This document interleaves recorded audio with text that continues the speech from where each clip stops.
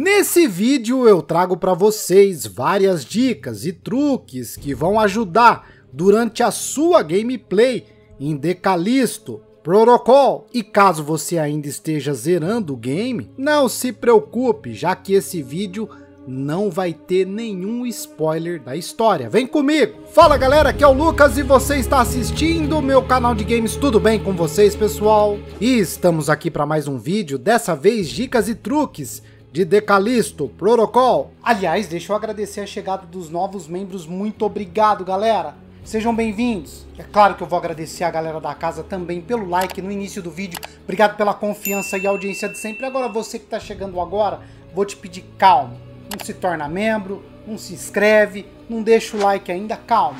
Assiste o vídeo até o final, não quero nada de graça. Se você gostar, e sim lá no final, você deixa o seu like, aproveita, não esquece de se inscrever e ativar o seu sininho das notificações para os próximos vídeos. Primeiramente, vamos falar sobre uma das coisas que mais está dando o que falar no jogo, a esquiva. Caso você ainda esteja no início do jogo, imagino que você deve estar tá passando dificuldade com essa mecânica já que ela é bem diferente das esquivas que temos em outros jogos. Mas vamos lá, confia em mim. Assim que você pegar o jeito, você nunca mais vai tomar um ataque sequer. O que acontece é que para poder desviar corretamente, você precisa segurar o analógico para a esquerda ou direita bem antes do inimigo te atacar. É só você ficar segurando que ele vai desviar tranquilamente. Mas vale lembrar que a maioria dos inimigos atacam três ou até quatro vezes seguidas, então você sempre tem que desviar para o lado oposto do qual você desviou antes. Por exemplo, caso você tenha esquivado do primeiro ataque para a esquerda, o segundo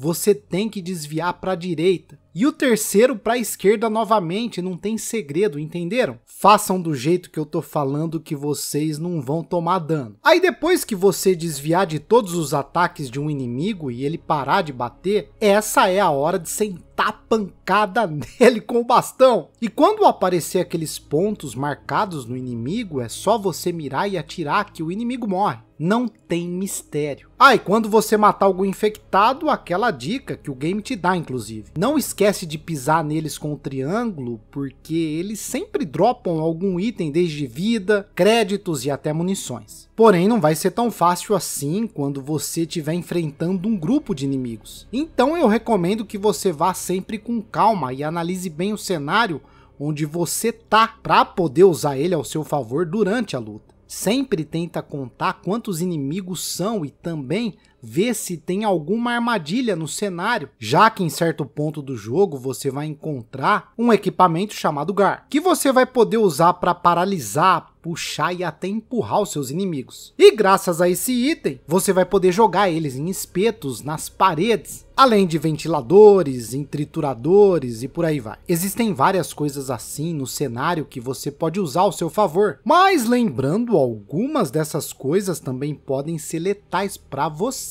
Então, cuidado para não ser empurrado ou cair sem querer em uma delas. Outra coisa que você pode fazer com o Gar é arremessar objetos do cenário nos inimigos, como caixas, pedras explosivos e etc. Esse item dá uma infinidade de possibilidades durante os combates, mas ele também serve para você explorar, já que muitas vezes você vai precisar usar ele para entrar em alguma ventilação. Então fica de olho nas paredes que você pode encontrar algumas ventilações que vão te levar para alguns caminhos alternativos, que na maioria das vezes estão cheios de itens. E aproveitando que estamos falando sobre exploração, esse jogo é um jogo bem linear e sem backtracking, o que é uma pena. Mas ainda assim, existem alguns lugares a mais para você explorar que com certeza vão fazer valer a pena a sua visita. A maioria dos planos para criar armas eu encontrei em lugares opcionais, então eu acho que vai fazer bastante falta se você ignorar todos eles e ir direto para o objetivo principal. Sem contar também que nesses lugares você pode encontrar alguns itens que servem para vender e trocar por créditos, como conversores de energia, CPUs e diversas outras peças. Tudo isso vai ser muito essencial para você fazer as melhorias no reforjador, então fica de olho nesses itens que vai valer muito a pena. Uma outra forma de conseguir eles é derrotando aqueles robôs que encontramos em alguns momentos durante o jogo. Então se você tiver com bastante munição, aproveita para derrotar eles também. Aliás, um dos problemas que eu enfrentei no início do jogo, que eu imagino que vocês também devem ter enfrentado, é a falta de espaço no inventário. Durante boa parte do início do jogo, eu fiquei com o inventário lotado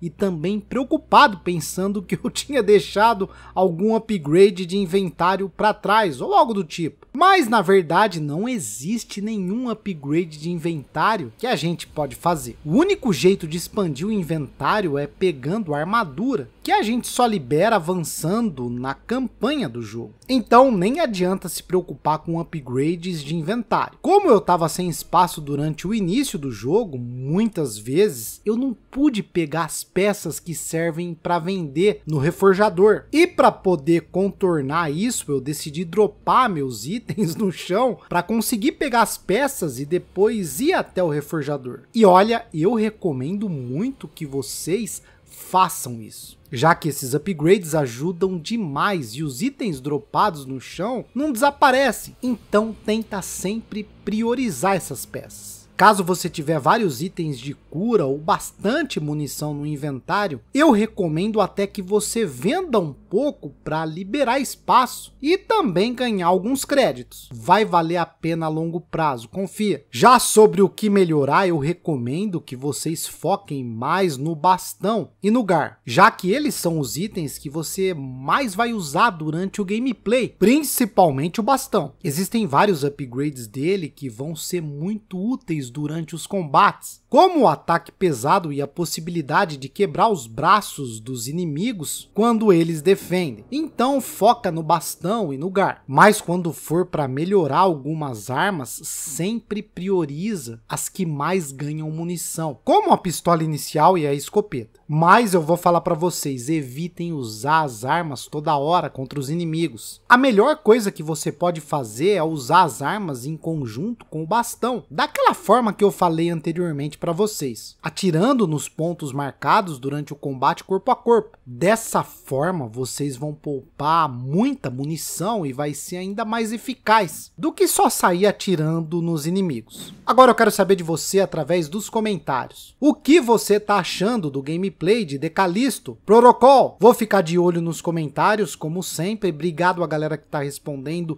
comprando uma mensagem através do Valeu Demais, tendo essa mensagem em destaque. Obrigado, galera. É com esse recurso que o meu canal de games fica cada dia melhor para vocês. Obrigado a todos os membros, a galera da casa.